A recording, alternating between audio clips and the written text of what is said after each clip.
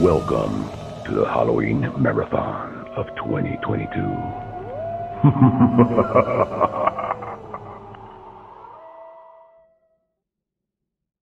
Last year during my marathon, one of the games that I talked about, and one of my favorites for the Super Nintendo, was Zombies Ate My Neighbors. But not a lot of people out there realize that there's an actual sequel to that game. Another thing that people are not truly aware of is the fact that Zombies Ate My Neighbors was not developed by Konami, it was only published by them, but the game was developed by LucasArts. Ghoul Patrol was also developed by LucasArts, but this time around, most of the work was done by an outside studio that went by the name Motion Pixel. Konami did not publish this game.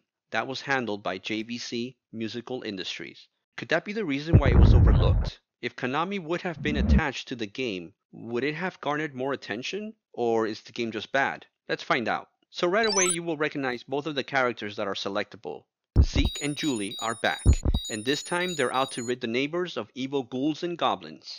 Go away!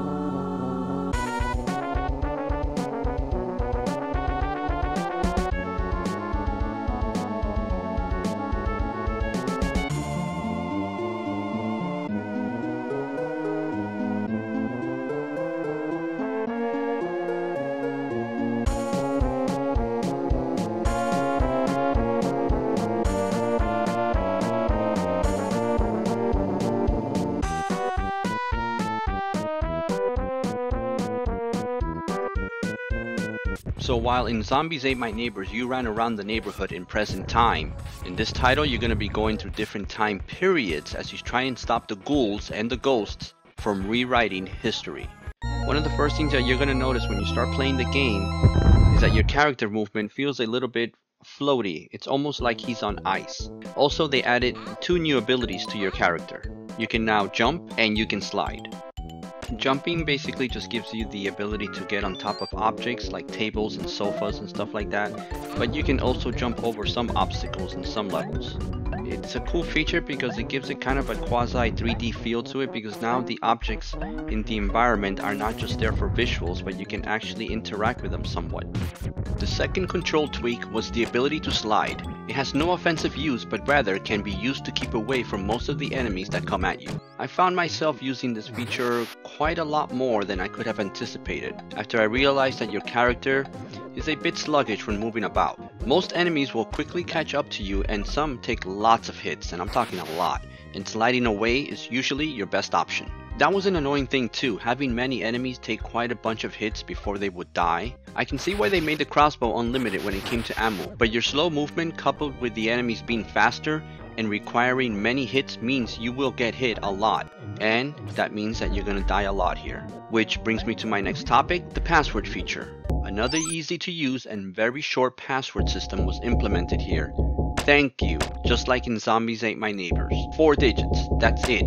If you screw that up, you're beyond help. And it's a good thing too because you're going to be using this system a lot. There are 13 levels and 5 boss encounters. The levels are divided into 5 sections, Metropolis, the Ming Dynasty, the Caribbean, Medieval Times, not that place, and the Ghost and Demon World. Each one of the sections has its own boss, and the levels are nicely detailed too, each with its own set of enemies and other little quirks tied to that specific timeline. The levels are also very big and it's easy to get lost in them after some time. Which brings me to my next topic, the victims and the level design. Most of the levels I found not only to be spacious but confusing to navigate and annoying. I say that since many parts of the levels will be blocked off by doors.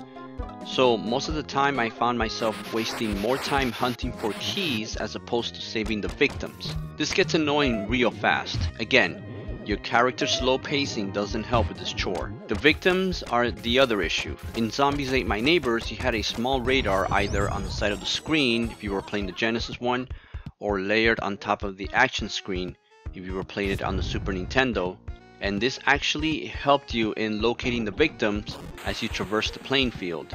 Extremely helpful and a welcome feature to the original game. It was so helpful that for some reason it was scrapped altogether this time around. There is no radar, instead now you have to follow the victim's text bubbles on the screen to determine which way to go in order to save them. This right here is such a step backwards from the first title, especially when I'm talking about a sequel. Usually sequels stick with the things that work and omit the bad stuff. Why was the radar removed? And I think the reason why is because there are fewer levels on this title. Zombies had 30 levels, while this one only has 13.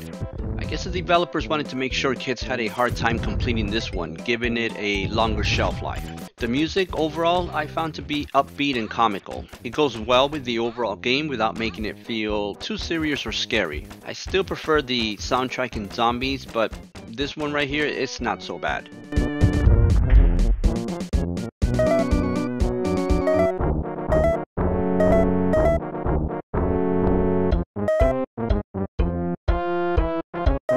Graphics wise, I'm gonna give this one a 9. It's a nice looking upgrade from the first title when it comes to the overall details in the levels. Flying books, walking trees, shark infected waters, all these little things help give each section of the game a distinct feel. It has that unique LucasArts feel to it with the caricature designs of the monsters and the protagonists.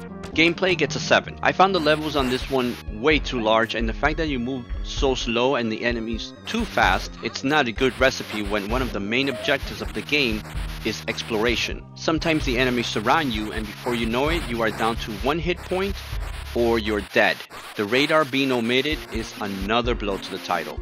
That would have helped a lot. But again, I think I know the reason why they did this. Another small annoyance is that once all the victims are safe, you still have to hunt down the exit point. It no longer pops up right in front of you after saving the last victim. That's annoying. So after all that bitching, you might think that I hate this game, but I don't. It's a great title, and I think it deserves a 7 on the Halloween meter. It's silly, spooky fun that you can tackle together with another player simultaneously. It is a great title that goes perfect with the Halloween season. A spooky title for a spooky holiday. Now, be back here tomorrow for a cool PS3 title. Don't miss it.